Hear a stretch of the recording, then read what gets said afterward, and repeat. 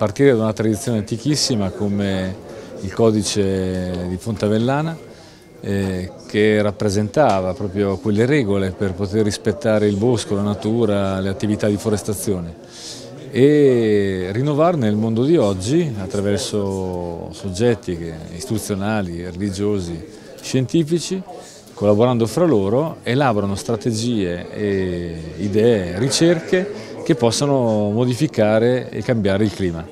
Un eh, grande obiettivo su un grande problema, qualche anno fa c'era il dubbio se quello del cambiamento climatico fosse un'invenzione in realtà, oggi abbiamo tutti in maniera molto più chiara come lo sfruttamento eccessivo degli idrocarburi fossili, insomma, scelte di sviluppo incontrollata abbiano inciso sul clima del nostro pianeta e sulla necessità di porvi rimedio. Quindi un contributo che con radici antichissime affronta i problemi di oggi.